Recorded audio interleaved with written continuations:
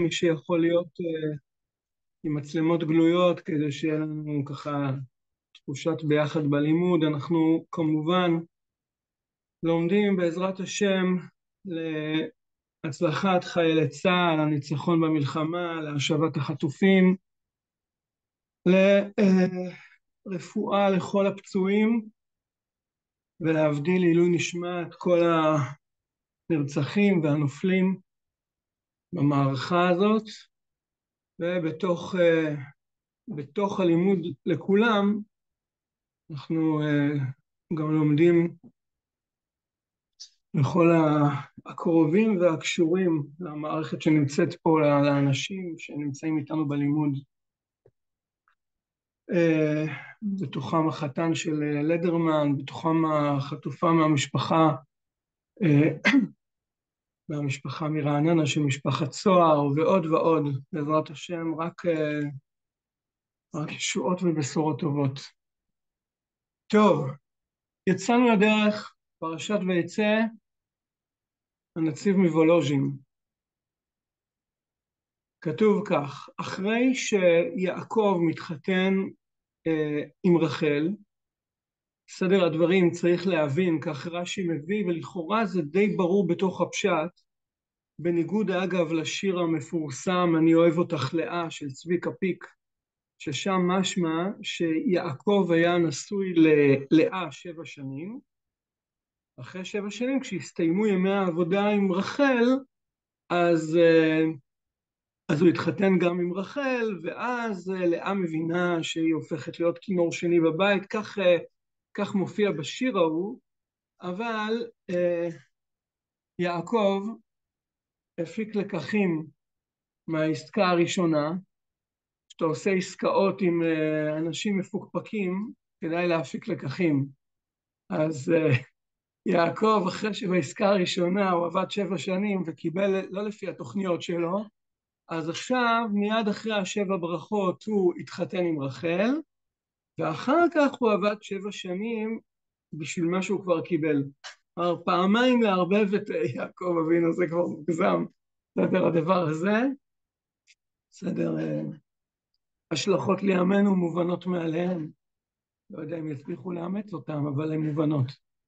טוב, אז אחרי אותו שבוע ימים מופיעה גם רחל בבית, ויאהב גם את רחל מלאה, כתוב.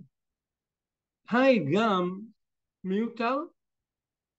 לכאורה היה אפשר לכתוב ויאהב את רחל מלאה, הוא אהב את רחל יותר מאשר הוא אהב את לאה. אבל כתוב גם את רחל מלאה. פירושו, שבמשך שלא נשא את רחל, לא הרגישה לאה שאינו אוהב אותה. שהרי מכל מקום מתנהג עימה כדרך אישות. ויש אנשים שאין בטבעם להיות מקורבים כל כך לנשותיהם ולא מחמת שנאו. אבל משעה שנשא גם את רחל הרגישה לאה שנתקרב אל רחל יותר. ועדיין לא הרגישה שהוא שונא אותה אלא חשבה שהוא אוהב את רחל ביותר כאשר יבואר לפנינו. כלומר, קודם כל נראה מהנציב, לא בדיוק כמו רש"י שהקדמתי עכשיו, שלכאורה היה איזה פער זמן שהוא לא ברור בין נישואי לאה לנישואי רחל. והוא אומר שבזמן הזה, עד שרחל נכנסת לבית, כן, סליחה, עד שנכנסת רחל לבית, אז uh, לאה לא מרגישה שיעקב לא אוהב אותה. היא לא מרגישה, היא מרגישה אהובה, היא מרגישה בסדר. נהג איתה בצורה טובה. אומר פה הנציב, יש אנשים שאין בטבעם להיות מקורבים כל כך לנשותיהם ולא מחמת שנאה. כלומר, יכול להיות שהיא לא הרגישה שיא אהבה, איזה כזה סערה.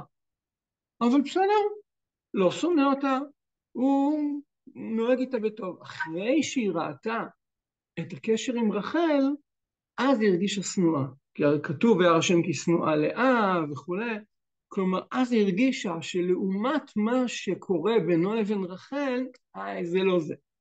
רוב המפרשים אגב אומרים על הפסוק הזה, ויאהב גם את רחל מלאה, לומדים בזכותו של, לזכותו של יעקב, שהם אומרים ככה, יעקב לא תכנן להיות נשוי ללאה.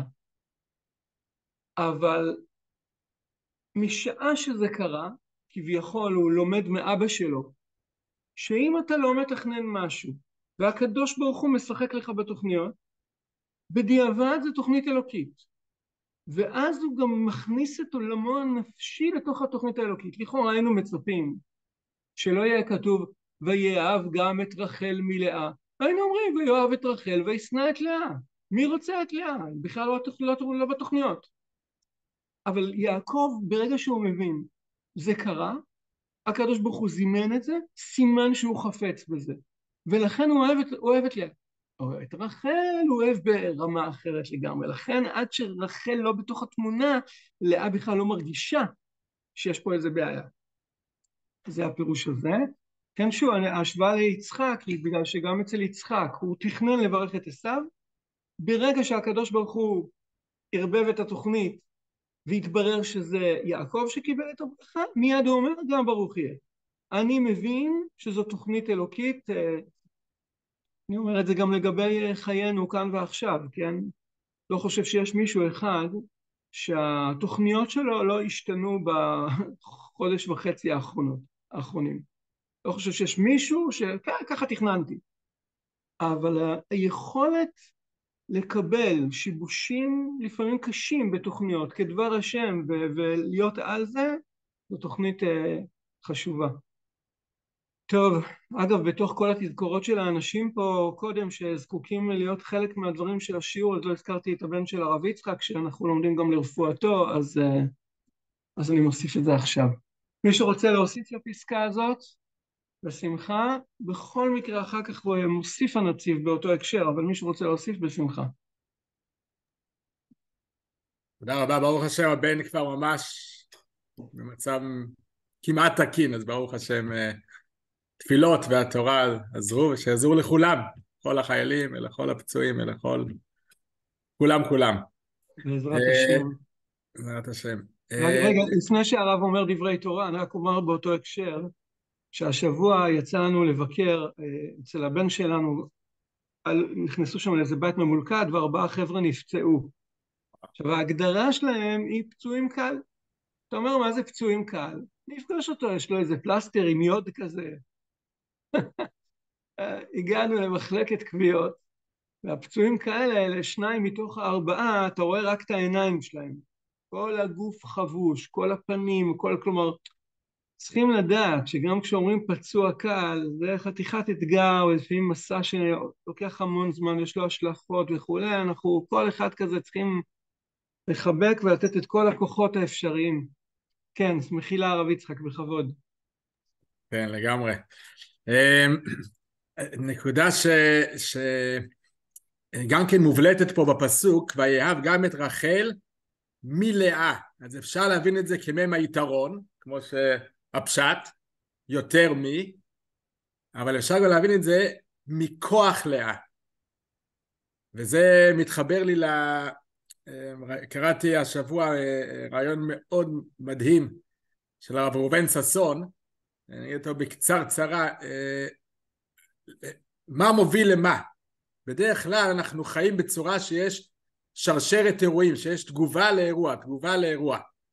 וכביכול כך גם המהלך האלוקי, כי אנחנו אנושים, אנחנו חושבים שזה אותו דבר גם כלפי שמיא, קורה משהו ואז הקדוש ברוך הוא מגיב. כמובן שגם מה שקורה היה צריך לקרות מהשם, אבל זה כאילו שרשרת אה, ליניארית, אחד אחרי השני.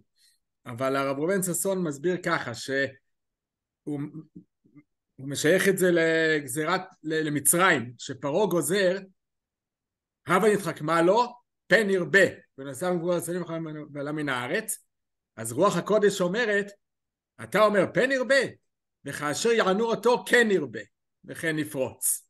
נגיד הפן ירבה יהיה כן ירבה. אז אנחנו מבינים בפשוטו שפרעה גוזר גזירה, ואז יש תגובת נגד שמוציאה אה, כוחות ואור גדול מעם ישראל כי הם מתמודדים עם הרע. אבל הוא אומר שהכיוון הוא הפוך בדיוק.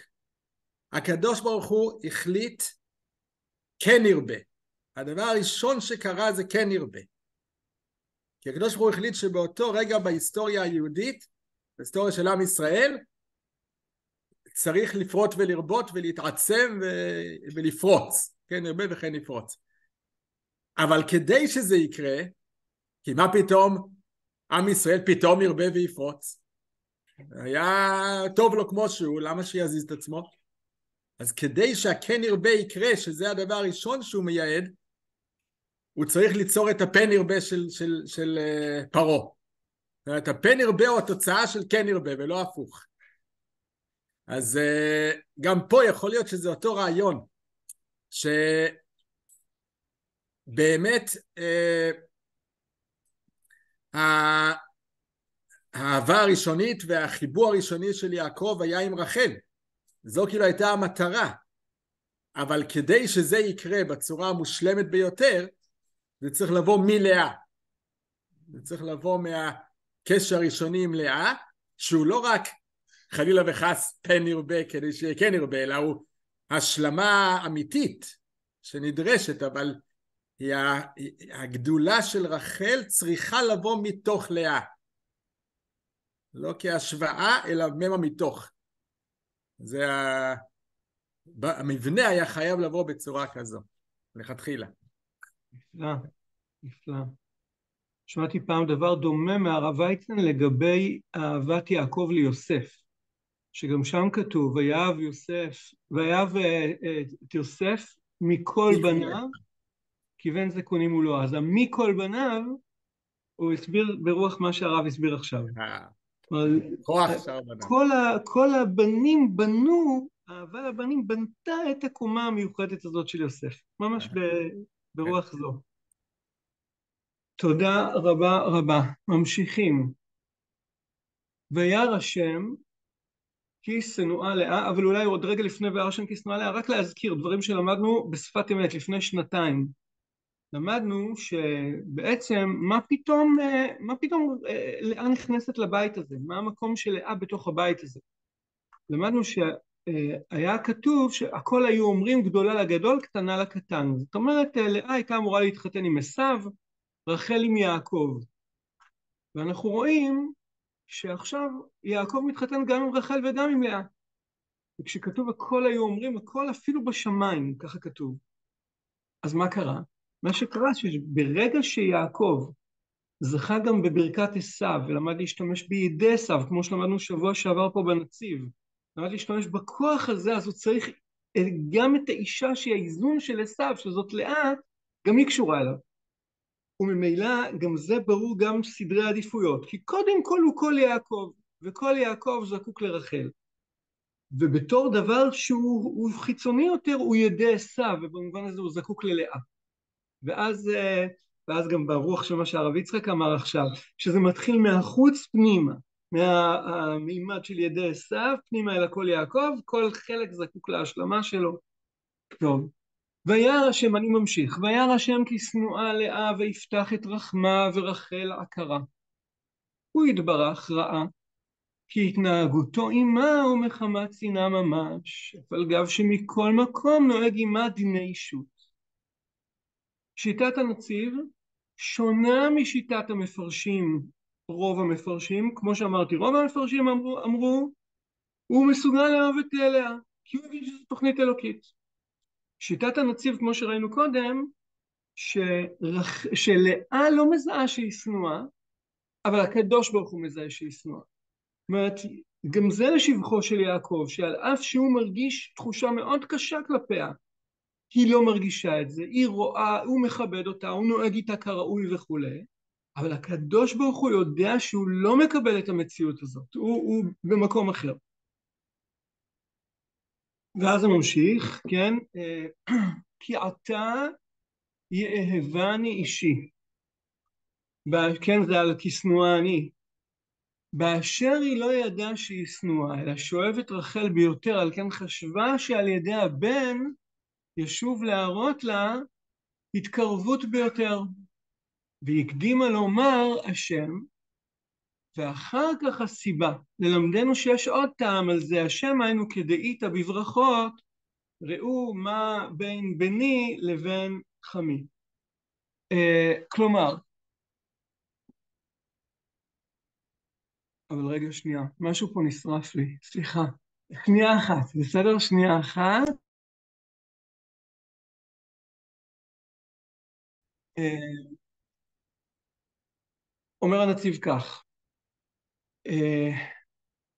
באשר היא לא ידעה שהיא שנואה לה, שאוהבת רחל ביותר, על כן חשבה שעל ידי הבן ישוב להראות לה התקרבות ביותר. כלומר, הקדוש ברוך הוא יודע ששוב, על פי שיטת הנציב, שהיא חריגה מהשיטות האחרות, הקדוש ברוך הוא יודע שיש פה חוסר קבלה של יעקב את לאה, הוא לא מוכן לקבל אותה, הוא אי שנואה. אם היא שנואה, לא יעזרו גם 200 ילדים. זה לא מה שיבנה את האהבה. רחל, לאה לא יודעת שזאת המציאות, ולאה היא בהכרה שהיא פשוט אה, אהובה, אבל לא כמו רחל. מה שחושבים המפרשים, שזה באמת היה המצב, זאת הייתה החוויה של לאה. חני אמרה, אם בנוסף לקשר הזוגי שלנו יהיו גם ילדים, זה כבר ישנה, זה יעשה, ישבור את שיווי המשקל, יחזיר אותו למקום אחר.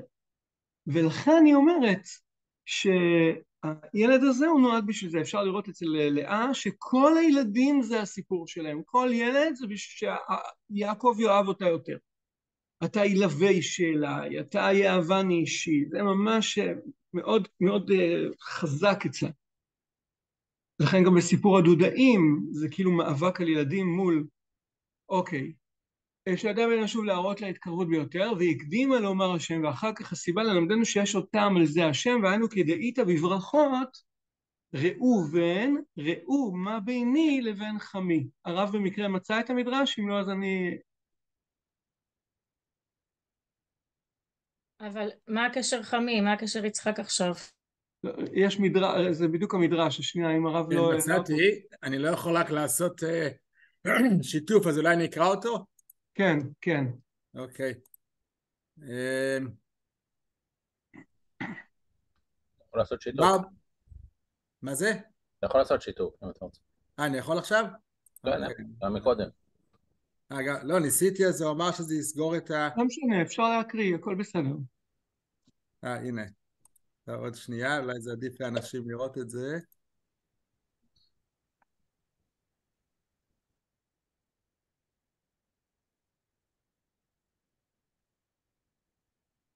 מצאתי איזה גמרא, הרב התכוון לזה? הנה, אמר רבי אלעזר, פה? שמתי בצ'אט, כן. אה, הנה, זה. כן, אמר רבי אלעזר, אמרה לאה. ראו, זה על השם ראובן. ראו מה בין מי בין בני לבין חמי. דאילו בין חמי אף על גב דמידעתי זבין בחירותי ליעקב, דכתיב וימכור את בכורתו ליעקב, אז מה הכתיב בי? ויסתום עשיו את יעקב. ואילו בני אף על גב דבעל כורחי שקלו בחירותי מיני דכתיב ובני ראובן בכור ישראל כי הוא הבכור ובחללו יצואי אביו ניתנה בכורתו ליוסף אפילו אחי לא יקנה בי שנאמר וישמע ראובן ויצילו מידם. כלומר, אה, אומרת לאה, הבן שלי הוא שונה מהותית מהבן של חמי, הבן של חמי קרי עשיו. עשיו הוא הבכור, הוא מכר את הבכורה, מרצונו החופשי הוא מכר את הבכורה. ולכאורה לא הייתה לו שום זכות להתלונן על אובדן הברכות כי הוא מכר את הבכורה.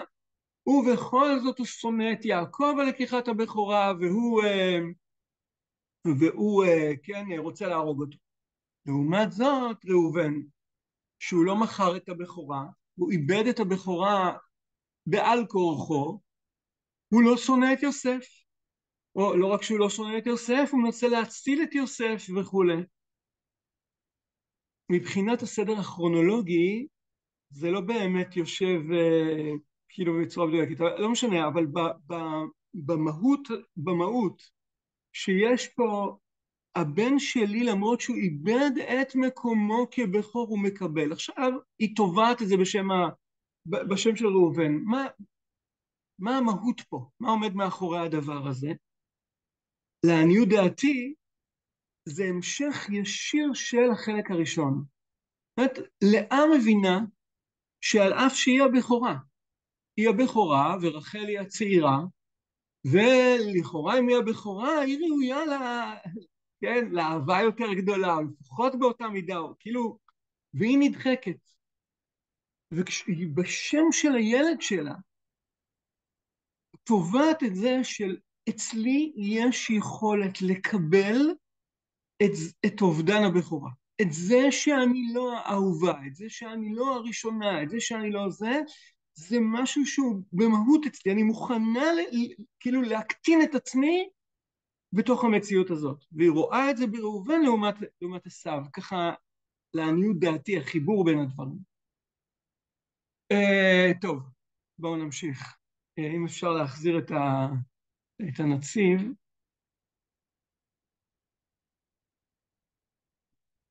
תודה רבה. ממשיכים. ותאמר אל יעקב, אנחנו עברנו לרחל ולתביעה של רחל מיעקב, הבה לבנים ממאין מתה אנוכי. ותאמר אל יעקב הבה לבנים ומאין מתה, מתה אנוכי. ליעקב מיותר. זאת אומרת, ותאמר אל יעקב, ברור, היא מדברת עכשיו עם יעקב. ובא ללמד שחשבה שמה שלא ילדה הוא בשביל שלא זכה הוא להיבנות ממנה. אף על גב שיש לו בנים. והיה נראה שהיא לא זכתה לכך. מכל מקום, הלא היא לבדה עיקר אישה אליו, אם כן הוא לא זכה. ויש לו למסור נפשו ולעשות פעולה שיזכה. כלומר, לכאורה, אני מדבר עכשיו מבחינה רוחנית, לא מבחינה בריאותית. לכאורה מבחינה בריאותית אפשר להגיד הנה ההוכחה שיעקב אבינו לא עקר, יש לו ילדים. ואת רחל את אה, עקרה אין לך ילדים. אבל עכשיו הדיון הוא רוחני. גם פה היה אפשר להגיד רוחנית יעקב זוכה לילדים.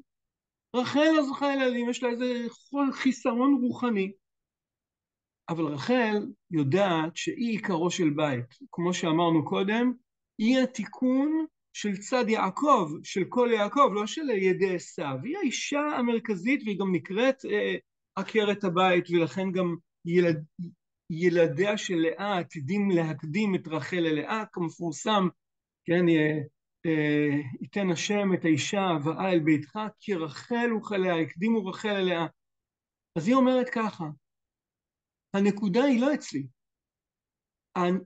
יש זה שלא זכית להיבנות ממני זה חיסרון שלך, זה חיסרון בקשר שלנו, זה חיסרון כזה, ולכן אתה צריך למסור את הנפש רוחנית על הדבר הזה.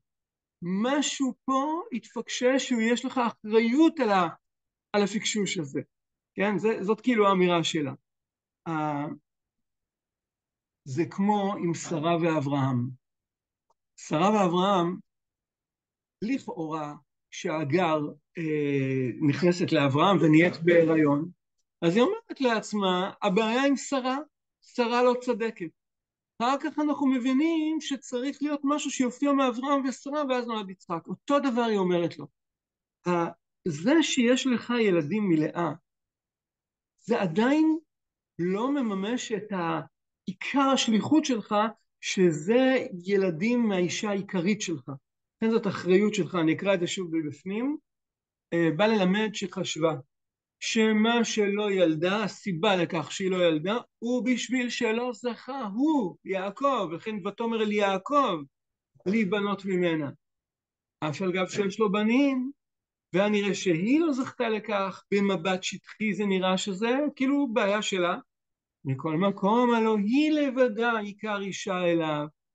זה כאילו אין לך ילדים, אם אין לך איש, בנים מהאישה העיקרית, ואם כן הוא לא זכה, הוא לא זכה. ויש לו למסור נפשו ולעשות פעולה שיזכה. זה מתכתב עם מה שרש"י מביא, שהוא יש לו בנים, אין לה בנים, כל, הכי, כל הדבר הזה. ואם אין מתה אנוכי, אני אשלים ואז אה, נשמח לשמוע אם מישהו רוצה להוסיף. ואם אין מתה אנוכי, באישה מבקשת בנים, טעמים ומשום דמבקש את התענוג דטבע האישה לגדל ולהשתעשע בבנים. ופעמים משום חוטרה לידה ומרא לקבורה, כלומר היא רוצה ילד שיסייע בידה, וכמו שאומרים יש את הביטוי הזה הקאדי שלי, מי שיגיד עליי קדיש, או בהקשר הזה מי שידאג לה בזקנתה וכולי. והתובעת בנים משום תענוג ראויה להתפי... להתפייס במה שאישה מראה לה אהבה וחיבה יתרה. כי מאמר אלקנה, לחנה, למה תבכי, הלא אנוכי טוב לך מעשרה בנים. היינו דתנן שילי מסכת נדרים, האומרת שמיים ביני לבינך יעשה סעודה ויפייס. כלומר מישהי אומרת אני לא, כאילו אנחנו יודעים שבאופן צנוע לא יכול להתממש בינינו ילדים, אז יעשה סעודה ויפייס, כלומר הוא יפייס אותה, נגיד את מה שמוסבר עד פה. עד כאן אומר הנציב, יש כל מיני סיבות שבשלן אנשים, ובמקרה הזה נשים, רוצות ילדים. יש סיבות קיומיות, יש סיבות שהן פרקטיות, מעשיות, נפשיות. אז יש נפשיות, אישה בטבעה רוצה להתענג על גידול ילדים, להשתעשע עם ילדים. יש פרקטיות, היא רוצה ילד שיוכל לכבד אותה בזקנתה וכולי. אומר הנציב, כל עוד הסיבה לילד היא איזה צד של תענוג, אז אישה יכולה להתפייס בזוגיות עצמה. ואני אומר לה, אני אעשה בשבילך הכל. הלא אנוכי טוב לך מעשרה בנים במובן הזה. אבל אם טוענת משום חוטרה לידה, אה, הוא אמר לקבורה אין עצה בפיוס, כדאית לפרק על בעל לבימתו, דמיד שמבקשת מזה הטעם יוציא ויתן כתובה, והיינו שקפצה חנה ונדרה ונתת לעמתך זרע. אנשים ונתתיו להשם כל ימי חייו שרגזה על החשד שחשדה אלקנה שמרעשת עולם בשביל התענוג אינו ראוי להיות כן. על כן הדרש תתנהו למשכן ולא תשתעשע עמו כלל. וכן רחל אמרה דעיקר הרע שאינה מתפסת באהבתו יתרה לה ובשביל דאם אין מתה אנוכי. אני הוספתי קודם את החוטרה לידה ומרת קבורה כחלק מצרכים. אבל פה אני רואה שהנציב הוא מתכוון לומר ככה ש... מה זה מרה לקבורה? מרה הכוונה מעדר. מה הכוונה מרה לקבורה? זה לא טכני שיהיה מי שיקבור אותי, אלא שיש, שיהיה לי המשכיות, קיום בעולם, שאני אמשיך לחיות בתוך העולם דרך הילד הזה וכולי. אני, יש הבדל בין צורך טכני להשתעשע עם ילד, לגדל, למרות שזה דבר מאוד חזק, לבין עצם המהות שיש לי ילד. ולכן חנה, אלקנה אומר לה, את צריכה תענוגות, אני בתור בן זוג אני אביא לך תענוגות, הכל בסדר, אני, אני אעשה בשבילך הכל. אבל היא אומרת, אני לא מחפשת משהו בשבילי, אני מחפשת משהו במהות של ההופעת חיים דרכי. ולכן היא אומרת, הילד הזה שייוולד, זה לא יהיה בשבילי, זה יהיה למשכן, לעבודת השם, שזה יהיה מזוקק, שזה עצם הבאת החיים והשליחות בתוך העולם, הדבר הזה. על זה אי אפשר להתפייס, זה מה שאומרת רחל, אם מים מתה אנוכי. זה קיומי, זה עצם חיי, זה לא צורך כזה או אחר שאתה יכול לפתור אותו בצורה כזאת או אחרת, למצוא איזה פתרון, זה מהותי. טוב, נשמח לשמוע אתכם על שתי הפסקאות האחרונות, בכבוד. הרגע עלה לי לראש ממש אה, נקודה מדהימה בעקבות הפירוש הזה של הנציב, הרעיון של חנה כדי לפתור את ה... אה, להוכיח שזה לא תענוג אלא זה באמת המשכיות אה, של כלל ישראל ושל עצמה לנצח זה העובדה שהוא יהיה נתון להשם. זה מראה שהיא לא, זה לא בשבילה בשביל התענוג שלה. אצל רחל זה בעצם מתקיים כפשוטו. לא אצל יוסף כי, כי זה מה שרש"י מביא שאחרת היא הייתה פחות מהשפחות. אבל ברגע שנולד בנימין היא נפטרה זאת אומרת, היא הוכיחה כפשוטו שזה לא לתענוג שלה. וואו. זה היה התמודדות, כן, זה הרגע... וואו, מדהים. יצא מדהים. לפי הפירוש של הנציב זה מדהים. זה כמעט סותר אבל. היא אומרת, אם אין בנים את האנוכי, ודווקא שיש לה בנים את האנוכי. נכון, כי היא באה להוכיח ש... כן, היא באה להוכיח שאם אין מתה אנוכי שאומרת כאן זה שאין לי המשכיות. אבל אני מוכנה למות כדי שתהיה המשכיות. למות פיזית כדי שאני לא אמות רוחנית. יכול להיות. גם, גם לגבי הסעיף, הרשע, רחל בעצם מאמצת את הטענה של שרה מול אברהם. כל אחד מאשים את השני. ששרה אומר, בעלי הוא, הוא הבעיה, והוא זקן, ואולי כל, כל צד אה, חושב על הצד השני. לא יודע את המשמעות של זה, אבל אה, יש, יש אה, תקדים לטענה שלה. אני, אני רציתי לשאול, לא הבנתי איך בסוף של הפסקה, איך זה מסתדר עם המילים, כאילו להלביש את, ה, את, את מה שראינו מחנה על רחל, למה, כאילו חנה הטענה שהיא משילה אותו להשם, איך רואים את אותה טענה במילים עם עין מתה אנוכי? אם היא אומרת עם מים מתה אנוכי, זה אומר אין שום התפייסות. שום דבר, לא בזוגיות שלה, לא בחיים, שום דבר לא יכול להוות תכלית לצורך הקיומי של המשכיות, של הצבעת, הצבעתי בתוך המשכיות החיים. זה, זה לא יכול לעמוד באותו, באותה זירה. כביכול, כמו שאלקנה אמר לחנה, תקשיבי, יש חיים, אני אשמח אותך, אני אהיה בשבילך, אני, אני אפתור לך את כל ה... כן, צורכי החיים במובן הכי טוב, יהיה לך טוב. אבל היא אומרת לו, זה לא, אני מחפשת משהו מעבר, משהו שאתה לא יכול לתת לי. אותו דבר רחל אומרת ליעקב, עין מתה אנוכי, אל תמצא לי פתרונות, שום פתרון הוא לא יהיה רלוונטי. כי יש פה, בסדר? זה, זה ההשוואה. טוב, וה... כאילו, אני מרגישה כאילו יש פה זלזול במקום שלה, שמבקש את התענוג שטבע האישה לגדל ולהשתעשע. לא, זה לא... לא יודעת. אני לא יודעת אם כל אחת היום רוצה ילדים כי, כי היא מקדישה אותם להשם, אבל כאילו אני חושבת שיש משהו מאוד חזק ב, בטבע של האישה, שהוא לא רק איזה תענוג בשביל להשתעשע. רגע, רגע. קודם כל, בחיבור הלוגי שעשית, אני רוצה להיכנס בתוכו לשנייה, בסדר?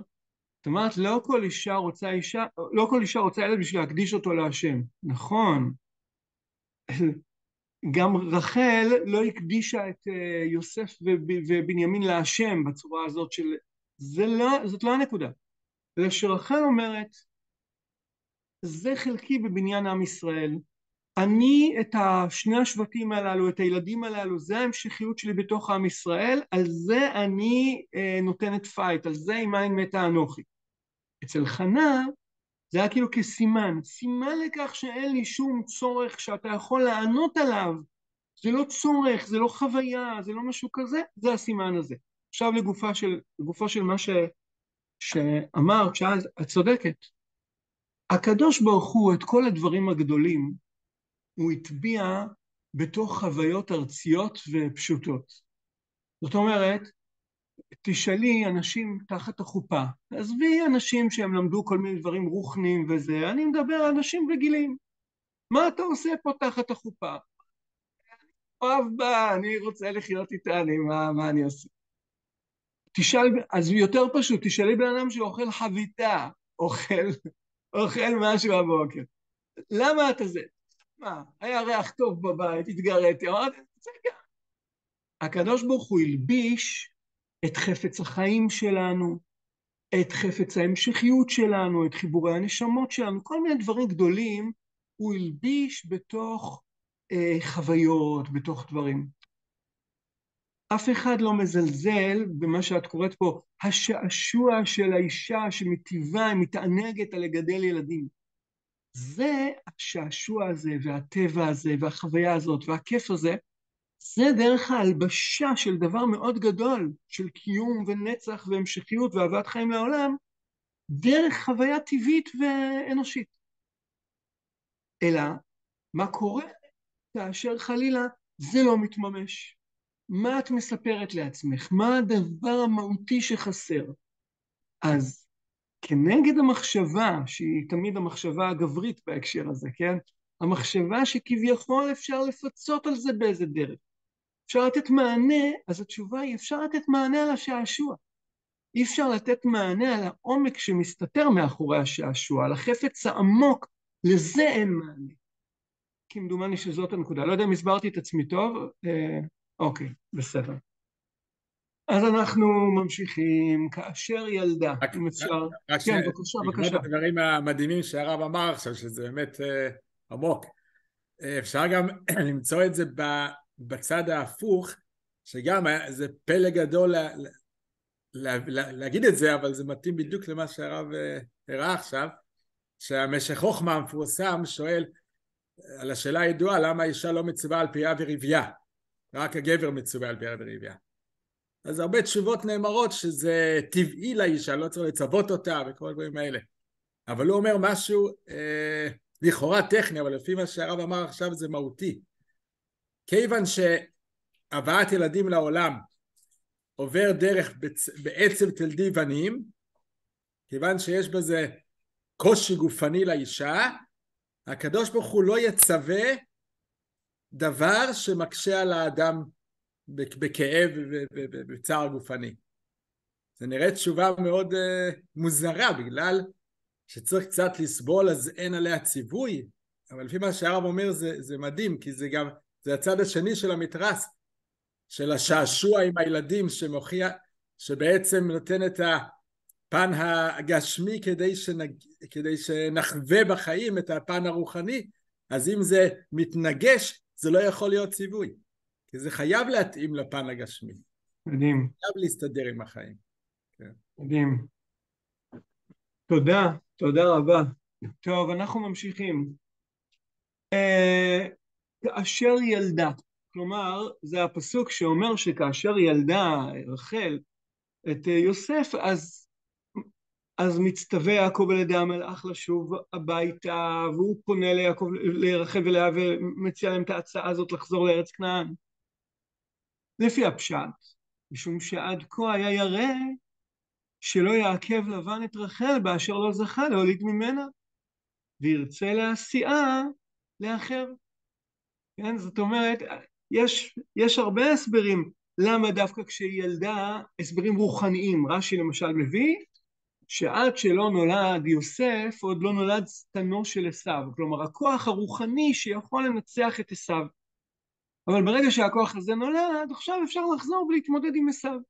זה, זה הצד הרוחני. אבל הנציב אומר פה, רגע, רגע, בוא, בוא נדבר שנייה, פשט פשוט. פשט פשוט. כל עוד לרחל אין ילד מיעקב, אז לבן יגיד, סליחה, רגע, רגע, רגע, אני לא מוכן שלבת שלי לא יהיו ילדים. בחיבור בינך לבינה אין ילדים. אז סליחה, תגרש אותה, ואני אתן אותה למישהו פה מחרן, ויהיו לה ילדים. ברגע שהדבר הזה נופל, אז אפשר להתקדם. עכשיו, לכאורה, למה הבאתי זה? אנחנו מש... אני בדרך כלל לא מביא דברים שהם רק פותרים את העלילה, כאילו, כן? ואולי גם הנציב לא מביא דברים שהם רק פותרים את העלילה. אבל, אבל אם אנחנו הולכים צעד אחורה ומחברים את זה, עכשיו אנחנו מקבלים עוד קומה. רחל מבינה שכל עוד אין לה ילד, היא לא באמת יכולה להיות בטוחה בזה שאשתו של יעקב היא חלק מבית ישראל, כי עדיין יש תביעה של לבן, תגרש אותה, ניתן אותה למישהו מחרן. ואז כשהיא אומרת עם עין מתה אנוכי, זה מאוד חזק, זה ממש, בזה תלוי היותי אשתך והיותי האימא בעם ישראל, זה, זה מהותי. ולכן העיכוב הטכני, יש לו בעצם השלכות מאוד מאוד עמוקות. מקווה שזה, שזה מובן. אוקיי. אל מקומי ולארצי. אומר יעקב אבינו, שהוא רוצה לחזור על מקום ולארצי. אילו היה הכוונה מקום דירתי סמוך לאבותיי, היה ראוי לומר לארצי ולמקומי. אלא ודאי לא היה בדעת יעקב לשוב עתה לבית אביו, שהרי רבקה הזהירתו שלא ישוב עד שתשלח אחריו. ואם היה יכול לשוב לארץ ישראל, הוא היה מתרצה לשמור צאן לבן עוד שש שנים בשביל השכר, אלא לא היה יכול. רק רצה לצאת מרשות לבן לעשות לעצמו, פירוש של מקומי לערכי, שלא אהיה עובד לאחרים. ואמר יעקב מתחילה, ילך למקומו בחרן או במקום אחר, אחר כך ישוב לארצו. כן, גם זה דיוק בתוך הפשט שהוא חידוש עצום גדול מאוד. אומר הנציב, יעקב לא מבקש לחזור לארץ. למה? בגלל שיש לו הסכם עם רבקה, שעד שהיא לא שולחת לקרוא לו, אז, אה, אז זה עדיין לא רלוונטי. ואם הוא היה כבר יכול לחזור, אז הוא לא היה, הוא לא היה יכול להיעתר לעוד שש שנים של עבודה בבית לבן. אלא הכוונה המקומי, אני רוצה לבנות את הבית שלי, את העצמאות שלי, את הזירה שלי, אני רוצה להתנתק מהבעלות שלך, ואחר כך אני אחזור לארץ. אני אמשיך פה, אישה אומר לך פן תדבר עם יעקב מטוב עד רע, זה כמובן דברי המלאך אל לבן. לא הזהירו שלא ידבר כלל, ואם כן היה לו לומר, אישה אומר לך, מדבר עם יעקב. ואז ודאי הלבן מפחד ולא מדבר כלל. שימו לב, אומר הנציב, שמה שאצלנו מקובל להגיד, אל תדבר איתי מטוב ועד רע, הביטוי הזה, לדבר מטוב ועד רע, אנחנו מפרשים אותו, אל תדבר בכלל. אבל הנציב אומר, לא, לא, לא, תדייק במילים, זה לא ביטוי. אל תדבר מטוב עד רע, זה אומר שאתה יכול לדבר איתו, אבל לא מטוב עד רע. אז מה, אלא אחי פירושו. ישמר לך, ייזהר בדבר, פן תדבר, לדעתי זו טעות פה ב, אה, במילה, כשלא תהיה נזהר, יוכל להיות שתסיים ברע, ויהיה ריב ומצה. וכן עשה לבן, שישתדל לסיים ברכות ודברי שלום. בסדר? זאת אומרת, אתה יכול לדבר איתו, זה לא איסור לדבר, אם היה איסור לדבר הוא לא היה מדבר בכלל. אל תדבר מטוב עד רע. אל תדבר, יש לפעמים, אנחנו מכירים את זה גם בין אנשים, שאתה מדבר משהו, אבל זה יזלוג אחר כך למקומות לא טובים. בסדר? אה, כאילו אתה בונה, זה כמו... כתבתי באיזה מקום שעכשיו, מה המנהג בתקשורת? המנהג בתקשורת, הרי כאילו אי אפשר לדבר עכשיו פוליטיקה, כי כולם במלחמה וצריך אחדות וכולי. מצד שני, אנשים קשה להם להתאפק. אז מה עושים? כמו שבשבת, נכון? אומרים, טוב, זה לא שייך לשבת, זה לא מתאים לשבת, אבל צריך לזכור ש... אז אנשים עושים, תחשוב אותו דבר. זה לא זמן לדבר על פוליטיקה, זה לא מתאים, זה לא שייך. אבל רק אני מעיר ש... כלומר, אנשים לפעמים מתחיל בטוב, אבל אחר כך כבר אה, יאללה, שישו ושמחו. ולפעמים אנשים שמחמיאים, מחמיאים בצורה שזה ייגמר בתחושה רעה. כלומר, אה, או, האוכל דווקא טעים היום. זה מחמאה. נגיד, יש שולחן עם שלושים מאכלים, הפשטנה הזאת מעולה. ומה עם כל השאר? קיצור, יש טוב שהוא גולש. אז אומר הקדוש ברוך הוא ללבן, אל תדבר עם יעקב, מטוב, איזה טוב? טוב שיתגלגל ויסתיים בסוף ברע.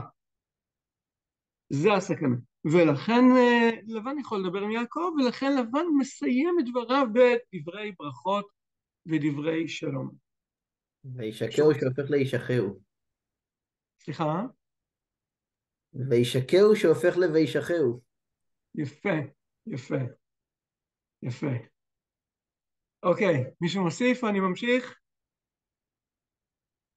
ויאמר יעקב לאחיו לקטו אבנים. אנחנו מדברים עכשיו על הגל הזה של האבנים, בסדר? אותו מצבה, גלעד, יגר סהדותא. פירש רש"י על פי המדרש, תל אחיו היינו בניו. אה, די אפשר לפרש אחיו כמו לעיל נגד אחי, נגד אחי ואחיך. וכן להלן ויקרא לאחיו שאין דרך ארץ לבקש אנשים חשובים ללקט אבנים לאכילה. אלא על כן הם הבניו. כל טכנית הוא מסביר למה זה מחייב את רש"י, אבל אני רוצה רגע להתמקד בפירוש עצמו. רש"י אומר, מה זה ויאמר יעקב לאחיו? לאחיו זה לא לבני בריתו וכולי, אלא לילדים שלו. כל ילד, תיקחו אבנים, נעשה פה גל, ועדיין צריך טעם, למה באמת לא ציווה לעבדיו ולשפחותיו לעשות כן. יש אנשים ברמה יותר אה, כן, נמוכה כביכול, תראה ותו למה הכתיב לאחיו ולא לבניו. אם זה בניו, אז תכתוב בניו, למה לכתוב אחיו? אלא בשביל שהיה בזה העניין מידת יעקב לשבת בטח ושלום עם אנשים, ואף על גב של לבן הקניתו הרבה, ובפרט בסוף דבריו אמר כל אשר אתה רואה לי הוא. מכל מקום לא חש יעקב לזה, וביקש לרדוף אחר השלום ולעשות לגימה לקרב את לבבו. ורצה עוד להרגיל בניו למידה זו הנפלאה, על כן ציווה אותם ללקט אבנים לשם כך. ואם היה אומר, בניי לקטו אבנים, לא היה נקלט בלבבם דרך מוסרי בזה, אמרו בלבבם, כי עושים בציווי אביהם. על כן קראם אחי לקטו אבנים, להגיד יושר מידה זו, שגם בלי גזירת האב יפה לנו לאחוז במידה מיישב, מיישבת לבטח. ואין להלן וכולי. אתם רואים שיש הרבה להלנים פה, הרבה ציטוטים. למה?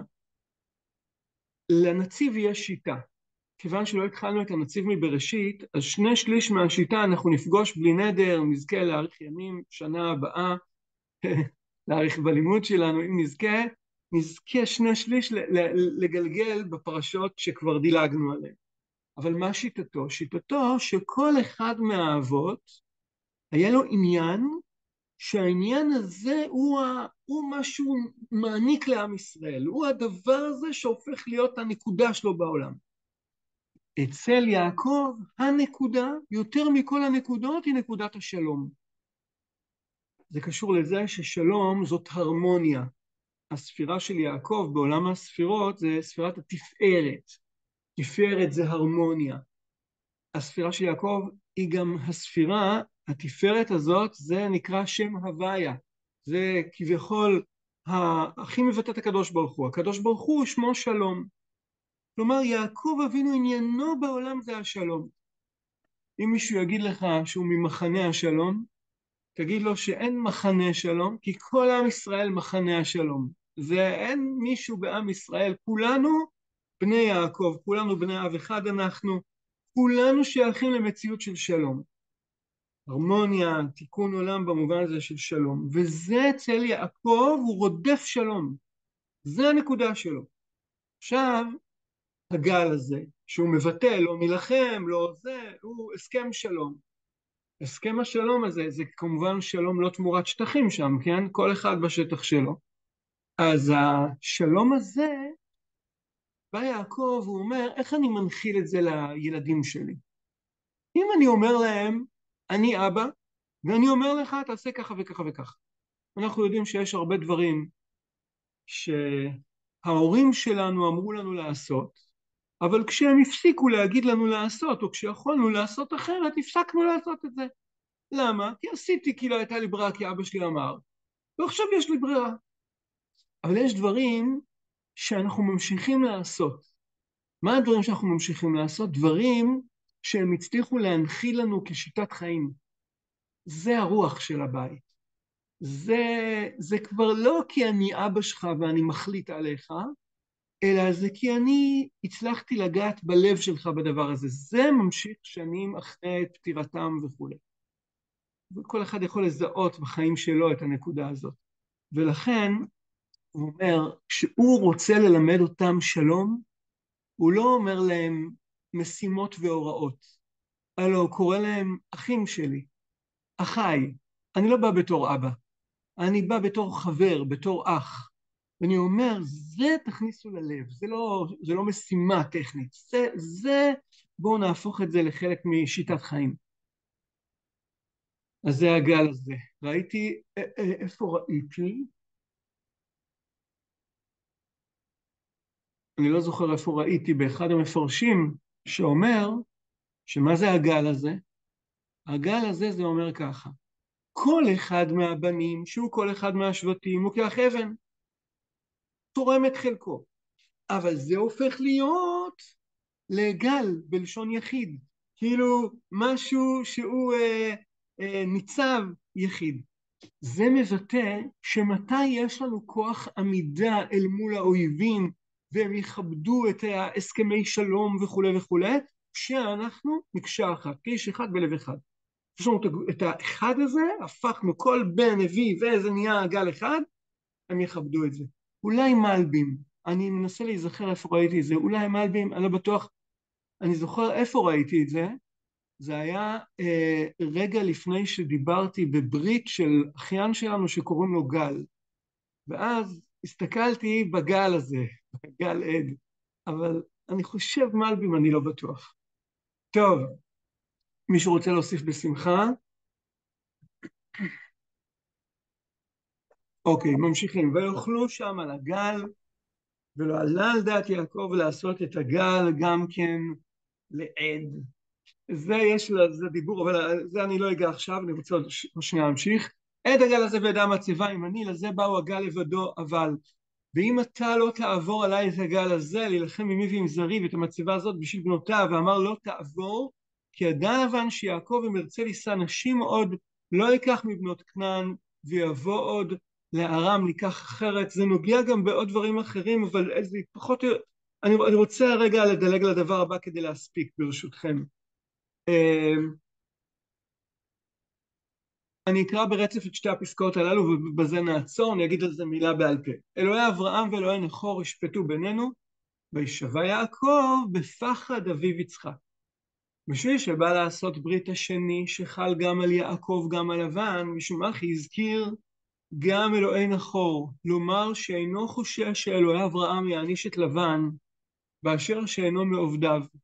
וישבע יעקב בפחד אביו יצחק. קצר ליעקב להודות ללבן על נוסח שבועה שלו, כי באמת אלוהי אברהם יעניש גם את לבן. אכן רע בעיניו לומר אלוהי אברהם לבד, שהוא כנגד כבוד לבן. על כן נשבע בפחד אביו יצחק, שהוא יעניש גם את לבן בדין הקשה שהוא כמידתו, כך כתב הרמב"ן. כלומר, לבן אמר אלוהי אברהם ואלוהי נחור ישפטו בינינו. מה הוא רוצה להגיד? אלוהי נחור זה כאילו אני, הנציג שלי, הוא, אם אני אעבור על השבועה, הוא יטפל בי. ואלוהי אברהם, הוא יטפל בך. אז מה התשובה של יעקב? פחד אביו יצחק. מה הוא מתכוון לומר? אם אני עכשיו אשבע, אני כאילו מקבל את זה שהעולם בנוי שיש אלילות, כזאת. יש האלוהים של לבן, יש האלוהים של אברהם, כאילו אלוהי נחור שזה אלוהי אה, לבן, ואלוהי אברהם, כל אחד והאליל שלו. אבל האמת היא שאלוהי אברהם הוא היחיד בזירה, והוא גם יטפל בך אם אתה תופר את הברית הזאת. אבל אם הוא היה אומר את הדבר הזה, כביכול הוא משחק באותה זירה. אם הוא אומר, כן, אני נשבע באלוהי אברהם. אז הוא עבר לפחד, הוא לא נשבע, הוא לא אומר, חוזר על הרעיון של נחור ואברהם, פחד אביו יצחק. אבל בזה הוא גם שדרג, הוא הוסיף קומה. כי אנחנו יודעים שאברהם הוא איש החסד, אלוהי אברהם זה הדגשה של החסד, זה הניסיון להציל את סדום וכולי וכולי. פחד יצחק זה מידת הדין הקשה, זה מידת הגבורה. אני ממשיך רגע, וישוב לבן למקומו, תיבת לבן מיותרת שהיה מדובר בו, או היה ראוי לכתוב וילך לבן וישוב למקומו. אלא משמעות מקומו כאן למעמדו שהיה עד בו יעקב. אחי פירשו חז"ל במדרש רבה, יוצא בזה בארנו לעיל ל"כ, נמצא כל הברכה שהגיעה ללבן הייתה רק בשביל יעקב. או כמו שראה לבן בתרפים שאמר ניחשתי ויברכני השם בגללך. כיוון שאמרו חז"ל ביבמות דף ס"ג אפילו משפחות הדרים באדמה אין מתברכות אלא בשביל ישראל. כל זה סימן לבנים שיש אומות עולם שאין מזלם טוב בעצם אלא בשביל ישראל שבקרבם באה הברכה להם. וכאשר יצאו ישראל מהם ישובו לכוח דל ורזה, אם לא שמזלם גרם לעשות חיל. טוב, אז אה, וישוב לבן למקומו, אומר הנציב, חזר למעמדו הלא כל כך גדול לפני שיעקב הגיע לשם. כי כל השפע וכל הברכה וכל המעמד שהוא קיבל בזכות יעקב, אומר הנציב, זה קרה לנו גם בגלויות, יש עמים שונים, ארצות שונות, שכשיהודים היו שם היה שפע, ניתחו את זה תמיד כאילו זה החריפות היהודית, הפיקחות היהודית, וזה גם היה גל אנטישמיות סביב כביכול הדבר הזה, אבל באמת זה השפע והברכה שעם ישראל מאציל לאומות העולם, אפילו במציאות של גלות, אפילו במציאות אה, שהיא כזאת. אם תרצו באופן עמוק, תמיד כשמסבירים, אני זוכר מבית ספר, היה לנו על הלוח, אה, המורה כתבה, אני אפילו זוכר מי המורה, היא כתבה אה, שבע סיבות לשנאת היהודים באירופה. האמת, יש סיבה אחת, היא נאמרה בהפטרה הקודמת, כן, עשו שונא, בידוע עשו שונא ליעקב, על החי, יש סיבה אחת, אבל כאילו זה נתלה, נתלה בהרבה סיבות. אחת הסיבות המפורסמות זה כאילו הכוח הכלכלי של היהודים. חז"ל אומרים הר סיני שירדה בו שנאה לאומות העולם על ישראל, כלומר שם נולדה האנטישמיות וכולי.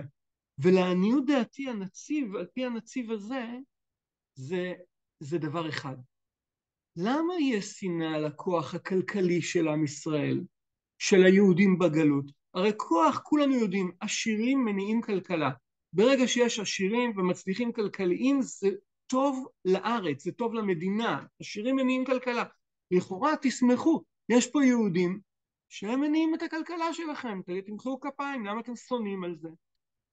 אבל זה בעצם שיקוף לצורה הרוחנית הזאת, זה קנאה בצורה הרוחנית של עם ישראל. עם ישראל בו הברכה לגויים. עכשיו כשיש לך שפע ואתה יודע שהמקור הרוחני של הברכה הוא לא שלך, אז אתה מקנא, אתה לא יכול לשאת את זה. הצורה החיצונית זה ההצלחה הכלכלית, זה, זה כאילו שיקוף בארצי של המהות הרוחנית של הדבר הזה.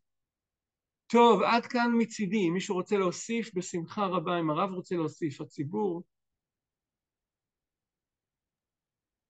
לא, יישר כוח. טוב. זה רק מזכיר לי, יש, לי, um,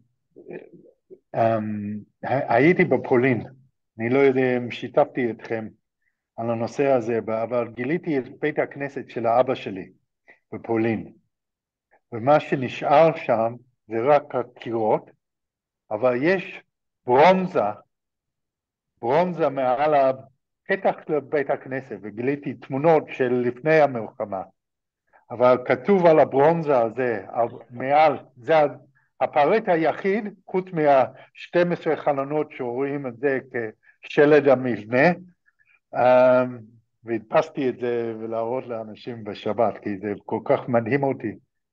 אבל כתוב בברונזה של, ה, של, ה, של פסוק אחד, שזה מה שהגרמנים או פולנים השאירו לנצח. זה הם לא הסכימו להוריד. ומה הפסוק הזה? אכן יש, לא, הם אמרו, מה נורא המקום הזה, כי אם אין זה כי בין בית אלוקים וזה שער השמיים. זה הפסוק שהם השאירו מעל בית הכנסת. זה, זה הפתח, ואני אראה לך, אני הדפסתי, הדפסתי את התמונות כדי להראות לאנשים בשבת. Oh. ואני אומר לעצמי, מה חשבו ההורים שלה, שלי כשהם תלו את זה בפולין? הם שכחו שזה נזכר ירושלים? אז אכן יש אלוקים, יש השם במקום הזה ואני לא ידעתי, זה לא שאלה, זה, ש... זה אמור להיות שאלה פליאה, שאלה של באמת, אתם חושבים שיש אלוקים במקום הזה ולא ידענו. ו...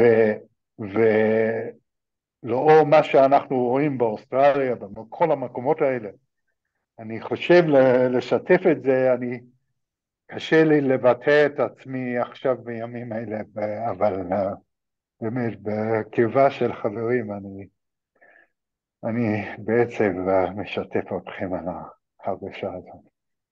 כוח. תודה, מר לדרמן, תודה רבה. ושולחים לך חיבוק גדול, לך ולכל המשפחה. חיבוק גדול מאוד. לכולנו. טוב, תודה לכולם, שבת שלום מבורך, בשורות טובות. שבת שלום. שבת שלום.